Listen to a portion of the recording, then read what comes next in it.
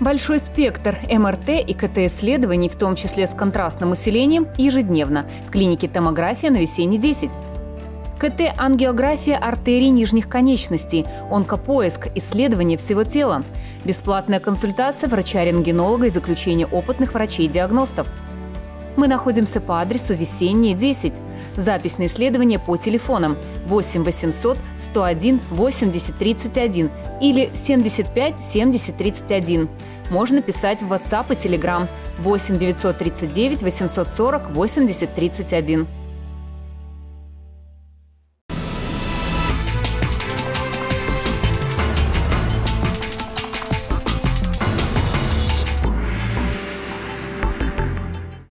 Здравствуйте, в эфире новости. С вами в студии Ирина Зайцева. Смотрите выпуски. Главные темы.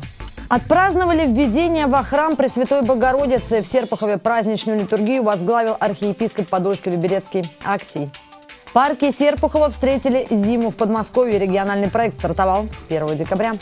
Книги в подарок. Популярный блогер Юлия Ивлеева передала почти 15 тысяч экземпляров в библиотеке Серпухова.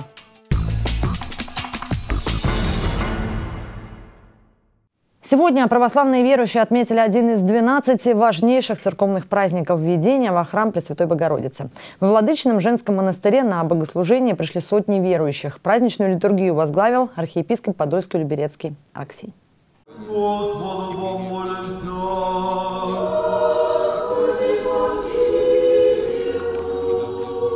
На богослужение воздать свои молитвы Господу собрались и взрослые, и самые маленькие прихожане. В этот день христиане вспоминают, как праведные Иаким и Анна привели в храм маленькую Деву Марию, трех лет от роду, и таким образом исполнили данный ими обет посвятить долгожданную дочь на служение Богу. Праздник введения Богородицы во храм говорит о том, что детей нужно приводить в храм с детства. Родители не должны бояться отпускать детей в храм к Богу, а, и родители должны молиться за своих детей, потому что с Богом все будет, как говорит по-русски, все будет слава Богу, а без Бога не до порога. Для Серпухова это особенный праздник, а для Владычного женского монастыря – престольный, так как именно здесь и находится одна из главных святынь – чудотворная икона введения Пресвятой Богородицы во святая святых. Премудрость,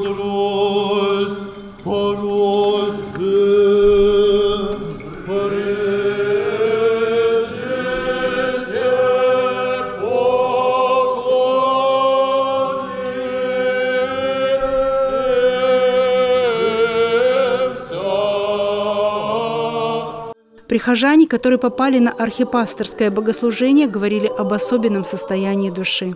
У меня сегодня такой день, двойной праздник. У меня сегодня день рождения. И Господь меня привел в такой храм, где видение, вот именно этот праздник, в честь этого дня моего. В это надо душой верить. Это же такая святыня, это же я даже не могу это словами выразить. Аж сердце замирает, вот просто такого пения даже. Это, знаете, это надо просто любить сильно Господа Бога. Серпуховичам я пожелаю, конечно, счастья, а, в душе радости, благочестия, чтобы больше доверяли Богу, шли к Нему, молились, просили Его, потому что кто просит, тому и дастся, кто стучится, э, тому отворит. Его Высокопреосвященству сослужил благочинный монастырей Подольской епархии, настоятель Вознесенской Давыдовой пустыни и игумень Сергий и благочинный Серпуховского церковного округа Иерей Дионисий Коськин. После богослужения архиепископ Аксий поздравил с праздником прихожан и жителей Серпухова. Я всех вас, дорогие мои, в этот день поздравляю с праздником введения. Дай Бог, чтобы мы всегда имели благодарное Богу сердце, чтобы мы никогда не забывали Господа благодарить. Это самое главное, самое важное в жизни каждого христианина. Пусть Божья благодать и покров Царицы Небесной пребывают со всеми вами. С праздником всех вас поздравляю, дорогие мои. Праздник введения во храм Пресвятой Богородицы связан с началом зимы. В церквях в этот период проходит активная подготовка к Рождеству, в честь чего проводят торжественное богослужение. По православной традиции отмечается отдание праздника. В парке Серпухова встретили зиму в Подмосковье. Региональный проект стартовал 1 декабря. На праздничных гуляниях побывали более тысячи жителей гостей округа. К ним присоединилась и наша съемочная группа. Территория парка имени Олега Степанова преобразилась новогодними огнями. Яркая иллюминация, световые инсталляции и тематические локации. В уютном зале торжеств Центральной открылась почта Деда Мороза. Юные Аня и Тоня написали свои пожелания главному волшебнику страны. Я пожелала Деду Морозу здоровья, что я вела себя хорошо и попросила куклу Рапунцель. Загадала пасека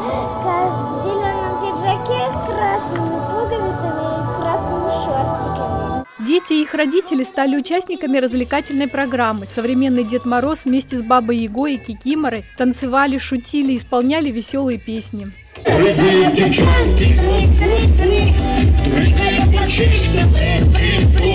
Наконец, на самой большой парковой елке в округе зажглись огни. Мальчишки и девчонки, мамы и папы с задором участвуют в конкурсах и фотографируются на фоне тематических фотозон и согреваются горячим чаем из самовара. Впереди посетителей парков Серпухова ждет масса зимних приключений. И на декабрь, и на новогодние каникулы запланировано проведение большого количества мероприятий и э, детская анимация, и концертная программа, поэтому зима будет насыщена. Вроде бы кажется холодное время года, да, но когда приходит такое количество посетителей в парк, все сразу заряжаются новогодним предпраздничным настроением. Еще одно радостное событие – открытие катка в парке «Питомник» на базе комплекса «Русский медведь». Собрало множество серпуховичей и почетных гостей. С поздравлениями от имени главы муниципалитета к посетителям катка обратилась его заместитель Анастасия Курбатова.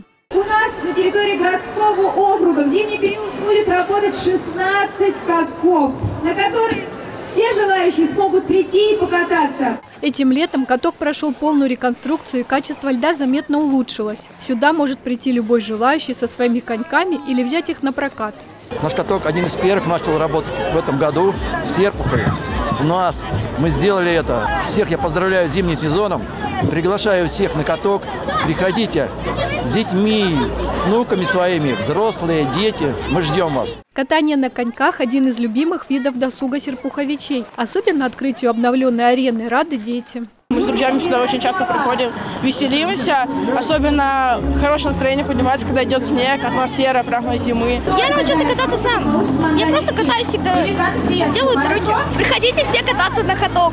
Для депутата Николая Пушкина катание на коньках – неотъемлемая часть зимнего досуга еще со школьных лет. Каждую зиму собирались с ребятами и катались. Открытие катка – это всегда настоящая зима. У нас наступает зима, а потом начинаются открываться наши все катки. Зима в Подмосковье стартовала, и впереди еще много праздников, а вместе с ними ярких эмоций и впечатлений на свежем воздухе. В парках округа для этого созданы все условия. Помочь преодолеть трудности в семейном клубе «Подарок» прошла очередная встреча, на этот раз с президентом Института инженерной физики Алексеем Царьковым. За чашкой чая в семейном клубе «Подарок» обсудили важные вопросы, в том числе реализацию проектов молодыми людьми с ограниченными возможностями и меры поддержки семей, в которых растут дети с поражением опорно-двигательного аппарата. Подробности далее. Это вот моя дочь Дарья, спортсменка. Призер мировых чемпионат, двух чемпионатов мира по рестлингу. Вот. Подтянула маму тоже, мама тоже занимается армрестлингом. Семейному клубу «Подарок» 5 лет. И за это время появилась команда единомышленников, которые помогают семьям растить детей с ограниченными возможностями. Организуют мини-турслеты, экскурсии для ребят, которые редко выходят из дома. Реализованный с помощью спонсоров проекты помогает людям с инвалидностью адаптироваться и социализироваться в обществе. Это нам усовершенствовать договор наш, да, более уже серьезным уровнем следующего года начать наше взаимодействие. Молодежь такие чудеса творит, просто такие изобретения, такие возможности. Надо нам организовать э, экскурсию даже чаепитие на нашей базе, собрать. В январе мы это и сделаем. Елена Ваганова поделилась планами семейного клуба. Что необходимо еще сделать, чтобы большее число людей с ограниченными возможностями не чувствовали себя одинокими, занимались, например, паралимпийскими видами спорта? Больше хотим развивать очень. Почему? Потому что очень многие наши ребята со сложными физическими отклонениями, как бы, и самый адаптивный для них вид спорта – это больше. Сейчас у нас мы пока приобретали мячи, тоже спонсорские какие-то помощи были. Угу. И вот э, думаю, что на следующей неделе мы начнем активно уже тренироваться. Вот. Будем... Хочется мне, чтобы у нас была прям своя команда такая классная. Самый важный подарок, который один человек может сделать другому, это каким-то образом помочь и улучшить жизнь этого человека хоть немного. Это рефрен деятельности семейного клуба «Подарок», объединившего множество неравнодушных жителей округа. Каких-то соглашений удалось с ними достичь? Да, нам понравилась тема оздоровления наших мам. Вот. Я думаю, что это одно из важных направлений, потому что действительно тяжело. Мамам нашим нелегко. Есть у нас ребята, которые занимаются музыкой, да, кто-то поет, кто-то э, рисует. Это не обязательно прям серьезная музыкальная или художественная школа, просто в кружках, да, для себя. Вот. Есть ребята очень одаренные, и я всегда радуюсь, восхищаюсь тому, что они сидят на месте. И вот как раз помощь вот таких людей, да, э, которым встречи, сегодня была с Алексеем Николаевичем, да, э, я думаю, что еще будет новый шаг, новый этап э, помощи нашим ребятам развиваться. Как помочь детям с ограниченными возможностями преодолевать трудности и стать сильнее, чтобы они были такими же счастливыми, как и их ровесники. Об этом мы говорили с Алексеем Царьковым после встречи в семейном клубе «Подарок». У нас идей много, наша программа работает, мы ее усиливаем. Ну, потому что вот пришла к нам Инна Александровна Карабичева. Она как новую нам ввела в работу, новое направление. Оно было направление, но, может быть, меньше на него обращали внимание. Теперь мы планово формируем программу работ. И э, на следующий год мы уже наметили как минимум таких шесть крупных мероприятий. Это посещение выезд к нам в институт, это медицинская помощь, это обеспечение медикаментами, препаратами, лекарствами, которыми владеем, которые у нас имеются. Планы большие, и реализация их уже начата. Конкретно об этом мы расскажем в наших будущих репортажах. Почти 15 тысяч новых книг появились в библиотеках Серпухова. Энциклопедии, сказки, повести, художественная литература и другие издания для читателей предлагают огромный выбор произведений на любой возраст. Такой подарок сделала серпуховичка, популярный блогер Юлия Ивлиева. Подробности в сюжете Анастасии Панферовой. Дело в том, что регент ничего так не боялся, как скуки, этого врага, с которым он постоянно боролся. А вот Саве слово «скука» не знакомо. Сначала уроки, на перемене общения с одноклассниками, потом театральный кружок. Но и не забывает уделять время своим лучшим друзьям, книгам. Тем более фонд библиотеки его родной школы номер 5 пополнился новинками. Благодаря инициативе выпускницы данного образовательного учреждения популярному блогеру Юлии Ивлеевой. Я очень люблю читать, книги доставляют э, мне интерес. В свободное время я обычно э, стараюсь почитать книгу, как у меня появляется возможность. Я считаю то, что нужно вдохновлять детей вот такими вот красочными книгами на чтение, и это как бы помогает э, детям больше читать. Фонд школьной библиотеки пополнился на 5000 книг. Это литература, которая есть в школьной программе, энциклопедии, книги для внеклассного чтения, сказки. Для школы это прекрасный вообще подарок, замечательный, конечно. Самое главное, будут счастливы дети. Библиотека – это вообще э, на данный момент место, куда должны все дети ходить, потому что это книги. А книги – это знания, это правильная речь, это, в конце концов, э, те сочинения, которые они будут писать. И выпускные и в учебном процессе. Поэтому это очень важно. Блогер Юлия Ивлеева родилась в Серпухове, училась в школе номер пять. Сейчас ее сфера деятельности связана с образованием. Она автор книг и нескольких программ. Свой родной город очень любит и никогда не забывает. Ранее, накануне Дня знаний, она закупила учебники для 20 образовательных учреждений округа. Это более 20 тысяч экземпляров. Мне очень нравятся самой книги. И мне кажется, что это классный вклад в общество через новые книги, через то, что у детей есть а, доступ к литературе. Причем эта литература в очень красивом оформлении, там, а, у современных книг, современных издательств. Очень красивые иллюстрации, удобный шрифт. Поэтому я думаю, что через учебники, книги, обновление фонда а, школы и библиотек, я могу внести свой вклад в культуру и в образование детей города.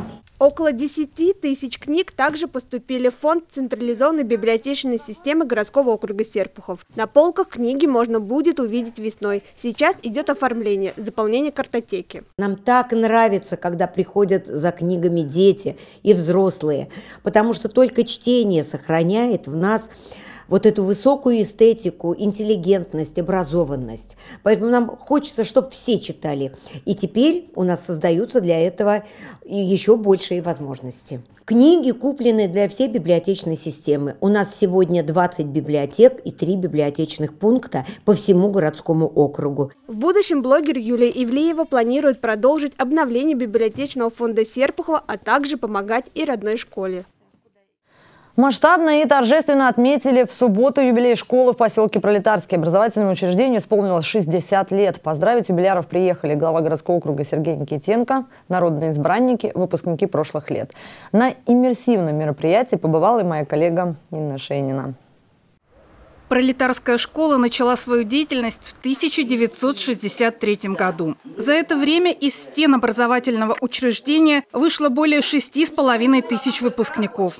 В прошлом году в школе был сделан капитальный ремонт. Здесь дают хорошие знания. И самое главное, дети идут сюда с удовольствием. Когда я шел в первый класс, мне было чуть-чуть страшновато. А оказывается, в школе классно и интересно. Поздравительный адрес директору пролетарской школы от губернатора Московской области Андрея Воробьева вручил глава Серпухова Сергей Никитенко. Как вы знаете, в прошлом году мы сделали капитальный ремонт, прошел. А, школа преобразилась. А, на следующий год э, мы запланировали работы по благоустройству школьного стадиона, и они будут сделаны. Но в целом я хочу пожелать пролетарской школе еще долгие годы открывать свои двери для будущих поколений учащихся, учеников, дом, где царит забота, любовь и просвещение. Глава Серпухова Сергей Никитенко и депутат Московской областной думы Татьяна Корзубова подарили пролетарской школе сертификаты на покупку мебели. Педагогов и выпускников школы поздравил с юбилеем от лица Совета депутатов Николай Пушкин. Пролетарская школа всегда славилась своими традициями и качеством образования. Хочу сказать спасибо всем учителям, всему коллективу за тот труд, который вы вложили в наших детей. С праздником! На празднике было много концертных номеров, погружающих в атмосферу школьной жизни 70-х, 80-х, 90-х годов и вплоть до сегодняшнего дня.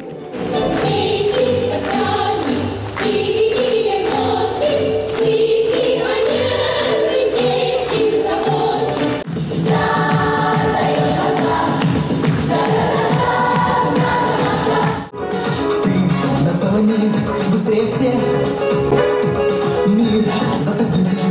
просьбе. Замечательная дата. Нам исполнилось 60.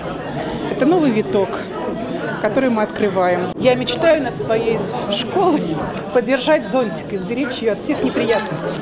На празднике поздравили и педагогов-ветеранов. На торжество приехали не только местные выпускники школы, но и те, которые в настоящий момент проживают в разных городах и селах Российской Федерации. Праздник получился.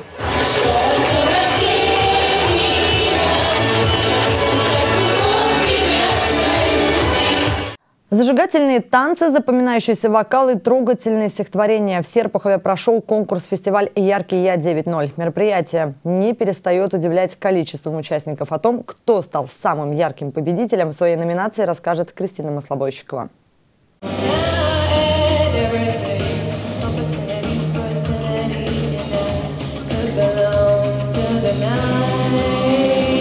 Анастасия Воронцова в музыке более 10 лет. Училась в музыкальной школе по классу фортепиано и синтезатор. Потом начала профессионально заниматься вокалом. Сейчас получает незабываемые эмоции от каждого своего выступления, рассказывает девушка. В конкурсе «Яркий я» Анастасия участвует уже третий раз.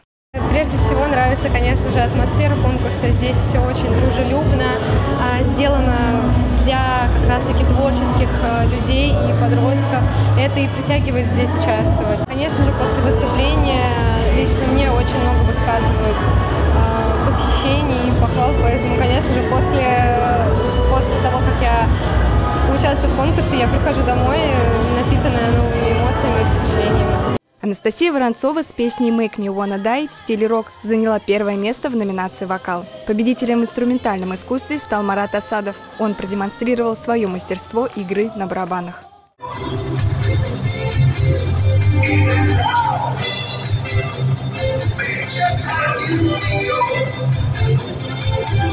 После конкурса ощущение некой свободы, которая говорит тебе, что вот все, все закончилось, но сам процесс дает кайф. Ты радуешься, ты смотришь на лица других людей, которые смотрят на тебя, улыбаются, хлопают и всем довольны. Удовольствие от выступлений помимо зрителей получили и члены жюри. Это хореограф Михаил Исламов, музыкант Сергей Пашинин, актриса Серпуховского музыкально-драматического театра Татьяна Чурикова, певица Анна Баринова и художественный руководитель парков Серпухова Дмитрий Лапицкий. Конкурс «Яркий я» стал уже традиционным. Организатор мероприятия – Молодежный центр «Молодость». Мы ждали этого события целый год, и сегодня во Дворце торжеств Центральном мы собрались все вместе, чтобы провести фестиваль-конкурс творческой молодежи «Яркий я 9.0». Молодежи очень нравятся подобные конкурсы. Мы проводили до этого квартирники. Но здесь, так как конкурсная основа и тур импровизация, некоторые переживают и боятся именно этого тура. Но сегодня мы увидим самых смелых ребят. Конкурс состоял из двух туров. Ребята показывали как заготовленные номера, так и импровизацию. В номинации «Художественное слово» победителем стал Андрей Вичтомов. В хореографии – Анастасия Николаюк. Ребятам вручили подарочные сертификаты, дипломы и кубки. Пущино в рамках рождественских чтений прошла благотворительная ярмарка и концерт в фойе кинозала «Молодость». Можно было приобрести изделия декоративно-прикладного творчества, новогодние сувениры и сладкие подарки, которые изготовили учащиеся образовательных учреждений и детских садов Пущино. Средства, полученные от благотворительной акции, будут направлены на оказание помощи участникам спецоперации. Благотворительные предновогодние ярмарки традиционно собирают большое количество участников. Разнообразные яркие изделия декоративно-прикладного творчества, поделки, сувениры, украшения, выпечка изготовлены руками учащихся трех образовательных комплексов Пущино и Центр дополнительного образования развития. От такого количества товара глаза разбегаются, но никто без покупки не уходит. Купила вот такую красивую свечу, вот такой милый пряник э, и вот такая вот подвесочка на Новый год себе. И в подарок получила вот такой вот шарик. Э, я это все приобрела, чтобы эти деньги пошли на помощь э, не знаю, наш, на поддержку бойцам. Особым спросом перед Новым годом пользуются игрушки. Хороший подарок для детей. Алексею Воробьеву, главе Пущина, понравился домовенок. Спасибо. Удачи вам. Не ушли без покупок и мы. Нашей съемочной группе приглянулись вот такие симпатичные символы 2024 года – дракончики. Участников благотворительной ярмарки и концерта в зрительном зале приветствовал глава города Пущина Алексей Воробьев. Данное мероприятие у нас в первую очередь носит духовно-нравственный характер. Это воспитание нашей молодежи, сохранение традиционных истинных ценностей семьи, любви, веры в Бога. Обращаясь к нашим жителям, к аудитории этого зала, хотел бы каждого попросить также принять участие в этой благотворительной акции. Насколько важно сегодня поддерживать бойцов специальной военной операции, в своем выступлении отметила Лариса Захарова, руководитель Пущинской группы волонтеров «Своих не бросаем». Возможно, вот это испытание было послано нашей стране для того, чтобы мы все-таки объединились, вспомнили о традиционных, а не навязанных нам ценностях, переориентировались с общества потребления на общество милосердия и взаимопомощи. Всех, кто желает участвовать в сохранении жизни наших солдат, согревать их, приглашаем к нам.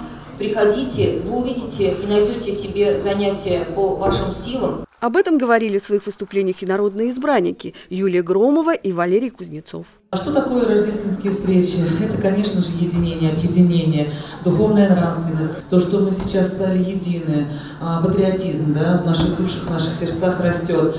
А, вообще мы должны всегда оставаться душевными, друг другу чуткими, заботливыми, и тогда мы будем едины. А когда мы едины, мы непобедимы. В условиях, в тех, которых выполняют боевые задачи наши с вами земляки, какие твердые надо иметь убеждения, чтобы сохранить и удержать свой человеческий облик.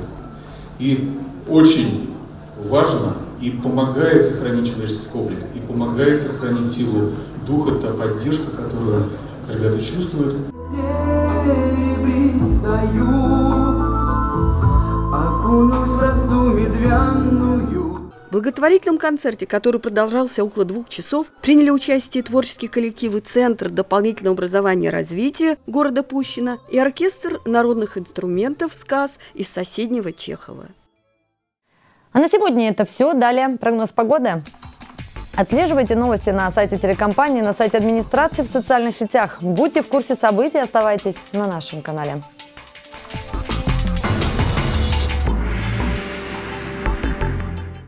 Диагностика и предотвращение серьезных заболеваний без боли и стресса. Помощь врачей с мировым именем в шаговой доступности. Прием ведут опытные колопроктологи, гастроэнтерологи, флебологи, гинекологи. Высокоточное экспертное оборудование, гастроскопия, колоноскопия во сне, малоинвазивная хирургия, подготовка к исследованиям в стационаре одного дня. Быть здоровым просто запишитесь на прием прямо сейчас. Адрес – город Серпухов, Московское шоссе, 82А. Телефон 8 967 555 06 37. Фактор долголетия – клиника, которой вы доверяете.